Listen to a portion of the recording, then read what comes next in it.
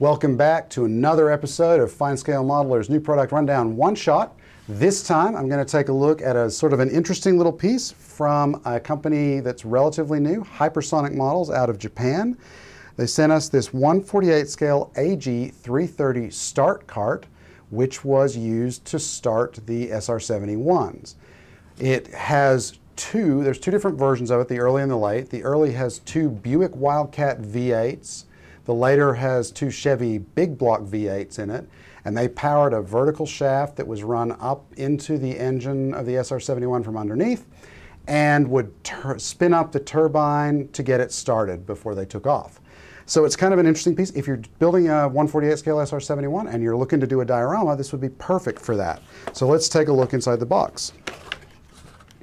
Nice, this is a plastic kit, it's not resin.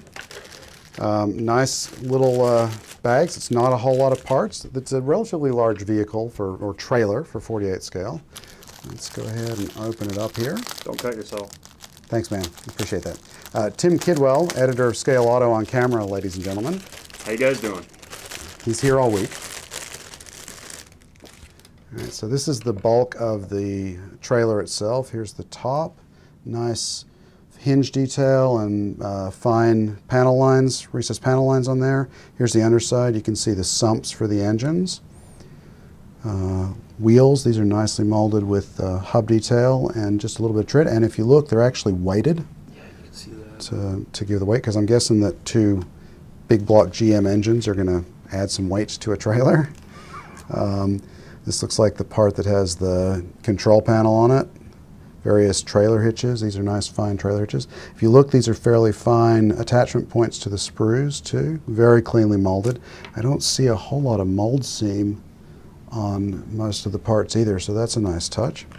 Let's go ahead and take a look at the other sprue. Like I said, it's relatively simple. Actually, I guess there's like three or four sprues in here. No, just one. Okay. Here's more of the trailer. These are the intakes. These would be radiators in here.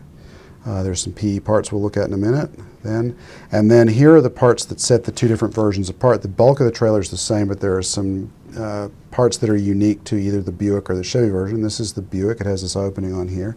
But look at how fine these louvers are on both of these pieces. Uh, in 48 scale. They're not open, but they're cleanly molded, and with a little bit of a wash, they'd really pop under paint. And then you also have different exhausts. Again, these are the Buick exhaust. There's, there's not even an attempt at a muffler on these. I was reading something online that these were incredibly loud when you were standing next to them, and there were like three foot, three foot shoots of flame out of the exhaust when they were powering up. And then the Chevy exhausts on the other side. You said something about photo etch? I did, and I don't. Hmm. You know what? The photo etch is in my office. Shall we go find it? Let's go find it. Do, do, do, do, do, do. Here and here. Hi, Kathy. Hi. You guys are having fun in. Do, do, do. I know I saw it because I realized it was out of the box and I was going to put it back in the box and I put it down. Working this? Excuse me? This is full creative environment. While he's looking for his stuff here, let's, let's take a look at this this awesome Klingon ship over here. Yeah, showing your favoritism again, man. Hey, Klingons before Federation. Really? You're the one that built it. Yeah. It didn't say it wasn't cool. I just don't know that I would go, it's cooler than Federation ships. I don't know what the hell you're talking about. This thing, by the way, is a great model. Lights off. Where the? Okay. This is troubling me now because I remember seeing it. It's in a little bag. Anyway, there are photo etch parts that go with that kit. Seriously, photo etch parts. All right. So what we're gonna do is we're gonna. Aha. No. Okay. Good job. Yeah. See, he did find them. Yep. I knew where they were all, the right, time. Go back. Let's let's go back to the workshop. Yes, we can do look at them better that way.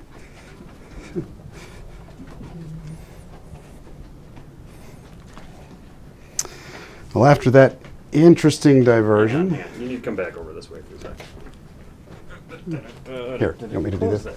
You want me to close the door? Okay. All right. So, Okay, we have photo etch parts. We do. So let's take a look at the photo etch parts.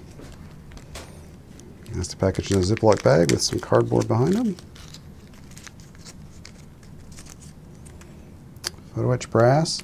So you've got engine screens for the radiator intakes that are on the front of the trailer. Get rid of that reflection.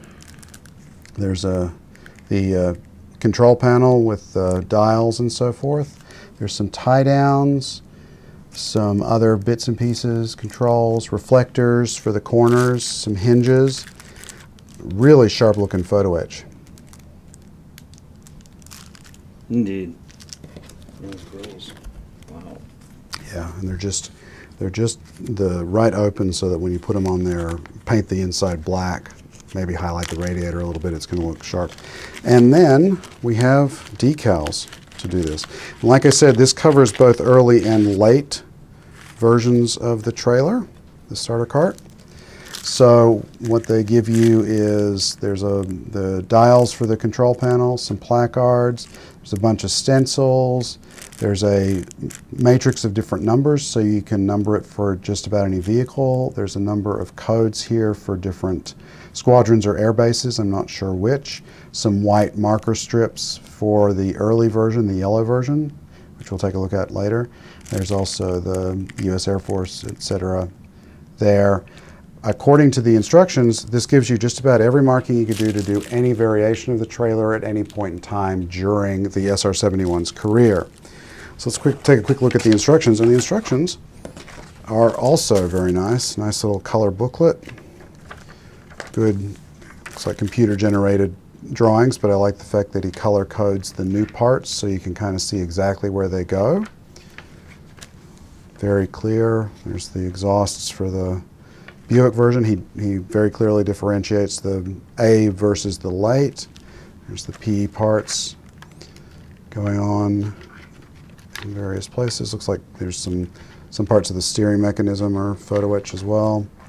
Here's you can do the actual uh, shaft for the starter in either stowed or uh, upright, so you can pose it with your uh, SR71, and there's an optional lid here.